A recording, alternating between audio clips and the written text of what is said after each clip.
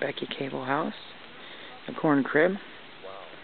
There's that deer I was taking photographs of. And we shall return after these messages from your local sponsor.